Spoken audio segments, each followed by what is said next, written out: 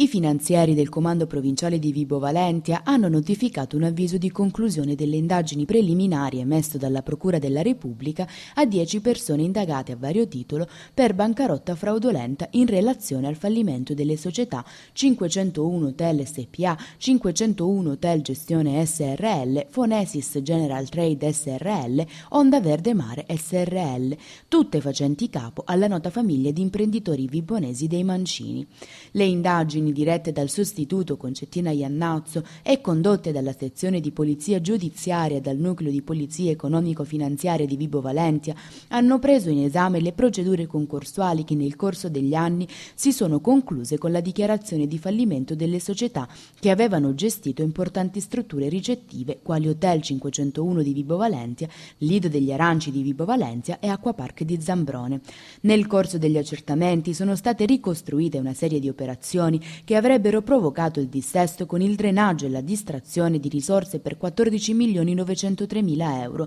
e la conseguente creazione di una massa fallimentare di 55 milioni 759 mila euro. Per l'accusa le condotte avrebbero avuto un unico filo conduttore individuabile nella gestione finalizzata al depauperamento delle risorse da parte dei deceduti cugini Giovanni Giuseppe Mancini e Saverio Mancini e successivamente dei rispettivi figli che insieme agli altri amministratori, approfittando dell'omesso controllo degli organi sociali, avrebbero condotto al fallimento.